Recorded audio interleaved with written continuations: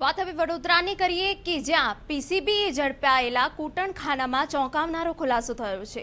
ઝડપાયેલી સાત યુવતીઓમાં સાડા બાર વર્ષની એક બાળકી પણ સામેલ છે. માસુમ બાળા પાસે દેહ વિક્રયનો ચોંકાવનારો ઘટસ્ફોટ થયો છે. આધાર અને ઉંમરના પુરાવાની ચકાસણી કરતા આ ખુલાસો થયો છે.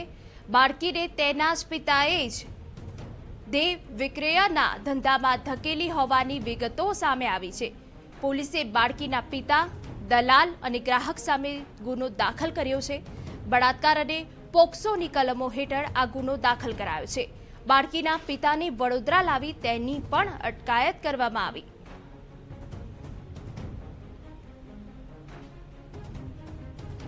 તો બળાત્કાર અને પોક્સોની કલમો હેઠળ હાલ તો ગુનો દાખલ કરવામાં આવ્યો.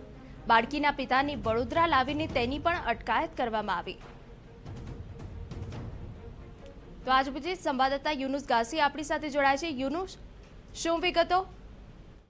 એના વડોદરા પીસીબી દ્વારા ગઈકાલે સનરાઈઝ કોમ્પ્લેક્સની અંદર રેડ કરીને જે એક મહિલા દ્વારા કુટનખાનું ચલાવવામાં આવતું હતું, ત્યાં કાર્યવાહી કરી હતી અને લગભગ સાત જેટલી યુવતીઓ, ત્રણ ગ્રાહકો અને જે મુખ્ય સંચાલિકા છે, ચંદ્રિકા ઉર્ફે રીટા પટેલ તેની ધરપકડ કરી હતી અને તેઓની પૂછપરછ કરી હતી. તેમાં એક યુવતી તેની ઉંમર નાની દેખાતા તેના આધાર કાર્ડ સહિતના પુરાવાઓની ચકાસણી કરવામાં આવી હતી. તો ચોંકાવનારી વિગતોનો ખુલાસો થયો કે તે માત્ર સાડા બાર વર્ષની ઉંમરની હતી અને તેની પાસે દેહ વિક્રયનો ધંધો કરાવવામાં આવતો હતો.